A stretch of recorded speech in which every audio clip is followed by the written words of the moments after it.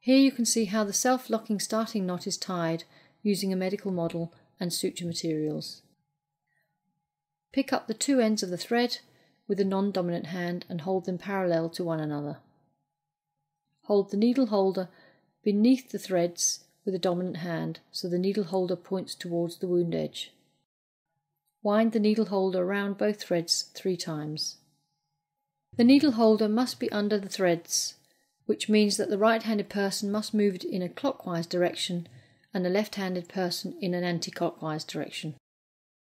Be careful not to pull the tissue excessively while winding the threads around the needle holder.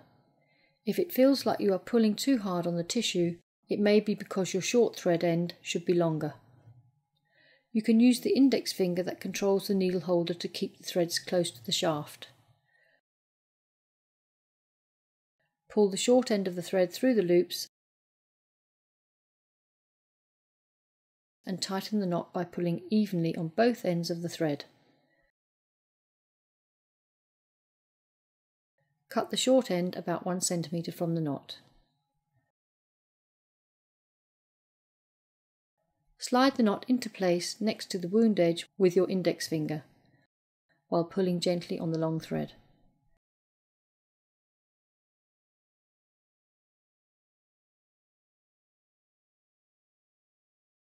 The knot is held into place by your continued suturing from this point and finishing the suture with a secure knot, for example, a self-locking finishing knot or square knot.